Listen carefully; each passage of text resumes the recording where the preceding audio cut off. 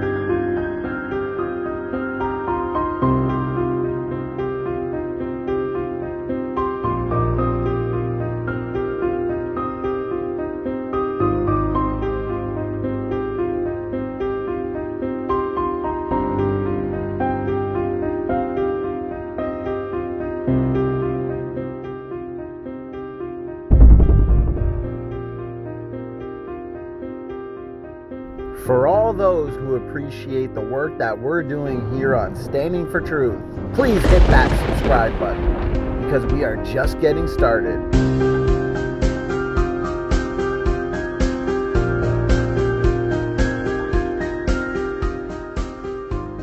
So they look to molecular clocks and DNA function. That's why the ALUs you talk about, or the ERVs, for example, the fact that they're uh, highly functional DNA elements. That's um, that's certainly consistent with this model of, as, as, you love to hear me say, created heterozygosity. When How do you explain that? expect Adam I'll, I'll ask this one last question, then you go back, and then it'll be your turn. How do you explain the um, the functional roles found in these? I like to call them variation-inducing genetic elements. You'll say they're ancient remnants of, of viruses and parasites, but how do you explain the uh, the function in? Um, What do you mean? How do I explain the function? Which which one did you have in mind?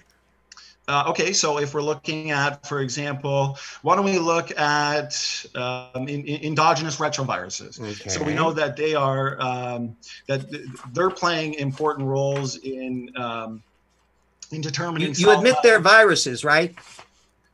Um, well, I would say it's well. I mean, like I said, I call them uh, variation-inducing genetic elements based on their uh, Yeah, function. but are, they are they are they viruses? Well, I mean, we know that viruses, for the most part, within us are, are beneficial. We have more viruses than we do bacteria and cells. So, point is, are they created uh, units of DNA as we would predict? And I would say that the, evid- the evidence does suggest it. Now, you probably looked at the several papers that I um, that I had um, screen Not shared. yet. I don't. I don't have the screen up to where Well- I can see what those are. Oh, you didn't see the? Okay, so I had those screen Well, shared. uh, uh, believe it or not, it's very difficult to just copy crap off that I see flit by at 900 miles an hour. Um, uh, Okay, well- you, you let, uh, let me ask you this: You Well, had yeah, this all this information. the question. I could go on and on with these papers. I'll just read one line and then have you explain it. So this one says ERVs frequently act to distribute regulatory information and thus confer genes with new patterns of expression and function.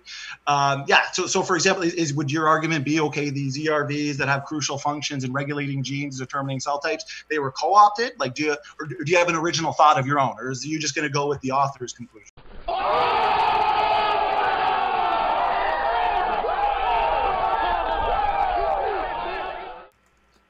I'll go with what the scientists say on it. It's their field. They're the ones with the PhDs. They're the ones with the actual uh, pedigree.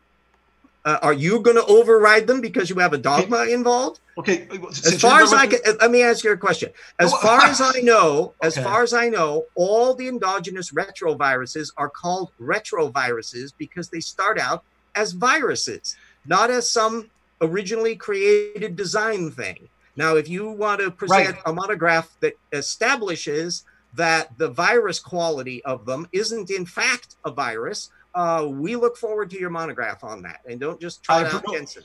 I appreciate you saying that. That's why I said the question is Are these really the remnants of ancient viral infections or ancient parasitic um, infections and invasions, how for example? Or are they created units of DNA function? This is what I find funny, RJ. Okay, I'll ask you two questions, and if you want, you can go on to asking me questions. I appreciate that this is a little more respectful. Okay, so there's a class of retrotransposons. If you've seen my debates before, I've asked this before, maybe you're prepared for it. So this certain class of retrotransposons is found in the mouse embryo. Now, if you deactivate it, the mouse, the mouse embryo will develop and then suddenly it stops. Well, why? It's because it depends on the function of these retrotransposons, which evolutionists used to say were non functional evolutionary leftovers, and supposedly these functions were co opted. If that's the case, what were mice just not having kids for millions and millions of years?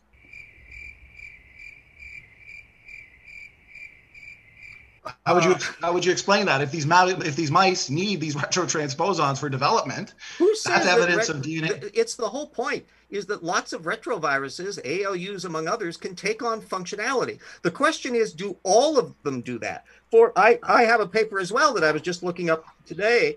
Uh, infection by porcine endogenous retrovirus after islet uh, xenotransplantation in SCID mice, where they were establishing that we need to worry about uh, a lot of uh, um, uh, pigs as uh, organ donors and others because there are retroviruses in there that when transplanted into mice can take on their old viral functions and do bad shit well I, it's perfectly understandable that such Okay, things wait, can slow down. in Hey, an hey, repeat that last part. What was did they that do? designed Well, wait a minute. What did they do? They implanted a a virus into the they, mouse they embryo? took they took the elements of the pig and transplanted it into uh, without any modification and Okay. it takes on its old viral function again What was the viral function? Something negative.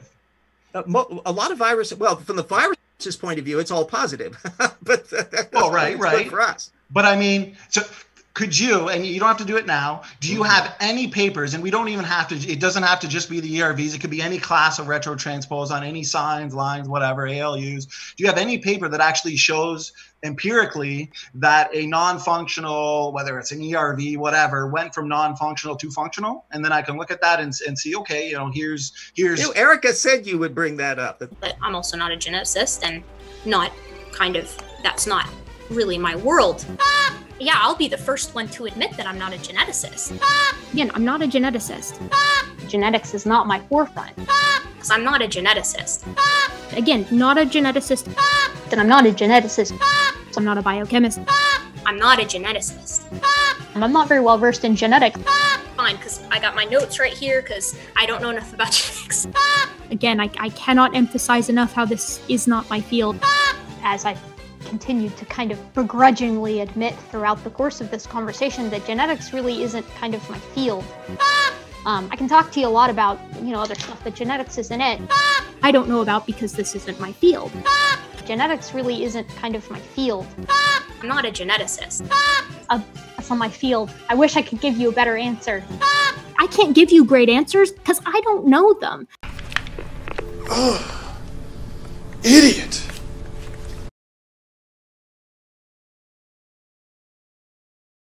So what was the answer she told you to give me? Because if they're accomplishing crucial functions in regulating gene expression, differentiation, and development, I want to see a paper on how these functions can actually be um, co-opted. Because it seems like the evolutionists, and, and unfortunately, RJ, it seems like you've lost one of your favorite pieces of evidence. So would you Yeah, I have a know paper that, that's that? that's the argument we go into, and this was not going to be a program on endogenous retroviruses, so I'm Well, not yeah, because- prepared for that.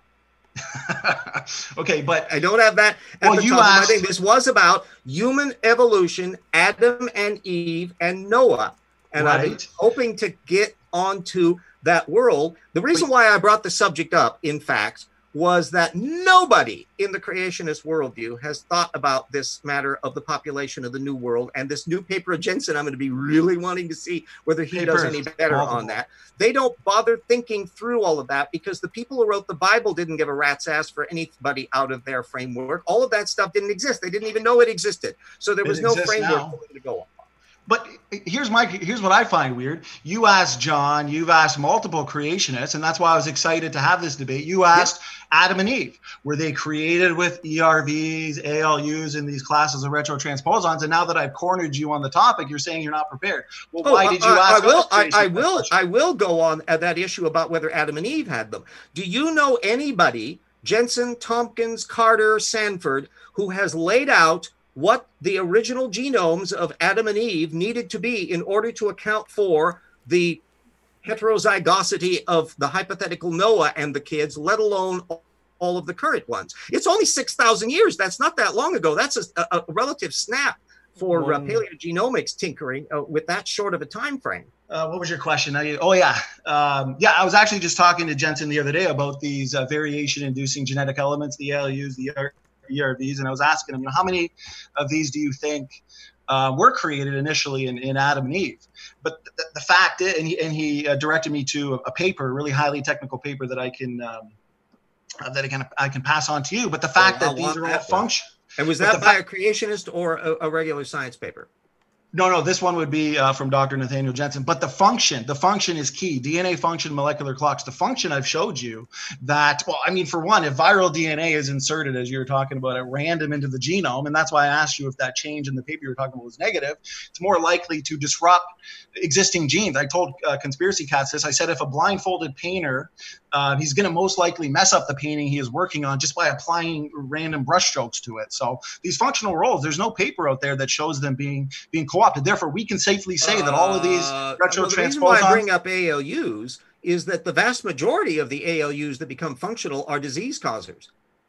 Okay, of course. There, I'm really glad you brought that up. Actually, so well, the ALUs are a little bit. Um, they- that, that seems to be your expertise. So you know, we'll, we'll stick on that. We'll stick on that there. Uh, so these ALU sequences, they're they're what? They're, small repetitive elements representing how much percent of, of our genome? Ten percent. Ten percent. Now they have the 1.4 ability. million To, of them and counting. how much? 1.4 million of them and counting. Okay. Okay. Now, because of their now from the papers I've read, and I've read a few over the um, over the last week, and it seems that that they always assert. So they'll say in these papers, and once again, I'll pass those to James. They say because of their ability to move around the genome, these jumping genes are considered as real motors of evolution. That's all they say, considered as real motors of evolution when um, going over the the functional roles that they have, because they talk about how the ALUs um, can allow cells to adapt to stress, um, for example, during viral infection. But like you said, they lead to disease. Well, that's what we would expect, James. If they're functional DNA elements and they're mutated, for example, or something negative happens to them, of course they're going to lead to disease. Would you expect it any other way? Yeah. So when exactly would the first disease bearing? Uh, the reason why most ALUs don't do a damn thing is because they don't have a README code. That's why they're they're functionally invisible, and that's why they can replicate. That's why there's so many of them. That otherwise we'd be up shit creek. Uh, a few fitted into our brain chemistry. That's one of the notable areas where they took on a functionality. Uh, but most of the time, they're gumming things up because they're gumming up protein sequences. Now, is it a design defect of the designer to have put in a system that has a, a copy me signal like that that just runs amok? Uh, it, can, can we sue? Well, I, w- I would say that that copy me signal, those those duplications, assist in what I've been saying in variation. These are variation in inducing genetic elements. Is it and reasonable? causing diseases. Of So, the, course, so the designer was okay RJ, with causing diseases. but uh, DNA repair mechanisms, DNA redundancy, for example, requires forward thinking. And I asked Erica that question: How does evolution, how does natural selection, which sees the the short term, not the long term, how does natural selection evolve something that requires forward thinking? How does natural selection evolve? Well, I, I think you have, may have an odd idea of what forward thinking applies in this case, and we're kind of Well- far away. It, we you stipulate that no creationist has worked out what Adam and Eve's genome was. Is that No, correct? no, no. Actually, I'm going to send you. So, Dr. John Sanford and Robert Carter are working on it. I think they've Uh, actually. uh, uh, but they haven't done it yet. Is that correct? Well, it's a work in progress. We understand very little of. Is the that DNA going to be? Is that course. going to be like like uh, Chadwick working out the paleo uh, uh, world? Is that a coming attraction that's never going to well, come? I, I do want to answer that question, but I want you to, to answer this. Is it reasonable for us, RJ, to believe that these so-called ancient viruses and ancient parasites, the ALUs, possess the genetic information necessary to promote so many genetic functions and so many biochemical functions in human beings? I, I don't accept your, I don't accept your supposition. What what about ALU? Do you think is like forward designing? No, no. Well, you, you- were saying um, with the um, with the mutations, for example, you're saying is this a is this a DNA error or is this an error in the design? Yeah, that's what you said. Sorry. So you don't allow errors in design, right? Well, obviously, if Adam and Eve were created with uh, perfect perfect genomes with uh, pre-existing functional DNA differences, that You do not allow imperfection of design in principle. Is that correct? in, in well no i mean we see we see defect like for example my car coming off the assembly line was near perfect now the air conditioner is broken down and rust is building up on the car but Which means, as I mean said, no you do not conceptually allow for imperfect design in principle. I'm just, I mean, it's a it's a standard creationist. I no. don't know of any anti-evolutionist that. yeah that but you're familiar with genetic entropy rj we don't have to go down that route we you, you know we i've said this before so you, you're kind of this is going to be a rabbit trail but we accumulate 100 new mutations per person per generation. Take that accumulating mutational load back to a point of least mutation accumulation load. That's a perfect. That's a, a point of uh, perfect genetics, Adam and Eve. So yeah, after the fall, mutations have been introduced into the genetics of people and species, and now these ALUs, these ERVs, if they're subject to mutations, that will result in, of course, disease. But before we end, you asked me, have they worked out the original genomes? Okay. Well, that's why I went over the. Actually, I, no, I didn't have time with you, but I've asked before. They're looking at because we know human chromosomes are, are, made up of relatively large linkage blocks, and uh, Dr. Sanford, and you can look at this in the HapMap data. They're looking and analyzing these original text strings, and it shows us that the genome is young. Why? Why? And then I'll let you respond. Because the genome has only been partially scrambled when in fact, RJ, crossovers and gene conversions should scramble all linkage blocks quite quickly in an evolutionary time frame. That's a huge problem for you. Answer that question, and I'll tell you how they're using that data who, to come who, up with who the original. Who says that that's the problem? Is it stuff that Sanford says it's the problem, or do you have a regular scientist that says it's a problem? Good question. Good question. Regular scientists, and they have explanations for it. Do you know what the explanations are for it? Oh well, summarize it because I right off the bat I I guess so. You summarize in the way that you didn't summarize Ventura's paper. Summarize this one for real. Well, I well I did summarize the Ventura paper. They say that the uh, sequences have been lost due to deep time time dependency did it. Oh, okay. As the evolutionists would say, God did it. Okay, well, real quick before we end, so they're looking at those linkage blocks, and since they're so, uh, they're still so large, that means there hasn't been much gene conversion or recombination going on. They can actually determine the original uh, chromosomes, the original linkage blocks, and they're doing phenomenal uh, work in it. And Dr. Jeanson's looking at it through uh, mitochondrial DNA differences, and they're close. Oh!